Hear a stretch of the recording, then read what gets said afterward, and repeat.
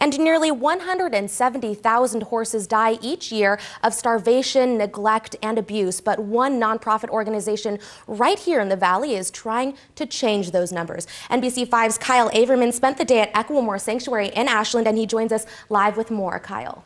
Yeah, Christine, the Equamore Foundation has been in the Valley for the past three decades, but today the group invited the public to attend their official grand opening. The foundation has been on the property of Eden Farm since the 1980s, but recently raised enough money to purchase the land.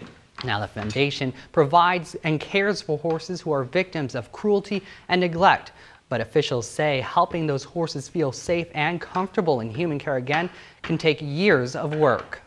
Um, some of the horses have been so badly treated that even after you get them physically well, they're still emotionally, um, have a lot of emotional difficulties. So getting them uh, used to being handled safely, getting them um, accepted into a herd, it can take years. Now today, the group celebrated their new 22 and a half acre ownership with a horse show with all proceeds benefiting the foundation. Now, if you'd like to learn more about the Aquarian Sanctuary, we'll post a link onto our website, kobi5.com. Live in the studio, Kyle Averman, NBC5 News.